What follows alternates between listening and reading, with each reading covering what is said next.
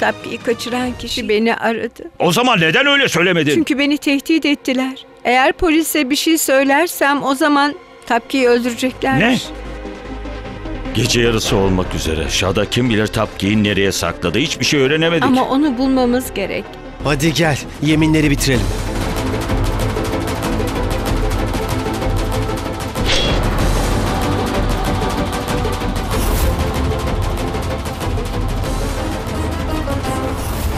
Koşi Nehri taştığı zaman büyük bir sel olur akar. Kimsin sen? Ben öz babaannesiyim. Aşk Bir Rüya yeni bölümüyle Perşembe akşamı Kanal 7'de.